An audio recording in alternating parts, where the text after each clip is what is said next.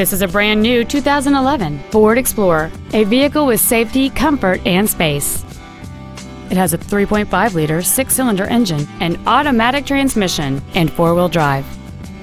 Its top features include a sunroof, air conditioning with automatic climate control, steering wheel controls, a portable music device ready stereo system, a leather wrapped steering wheel, alloy wheels, fog lamps, a traction control system, a rear window defroster, and cruise control.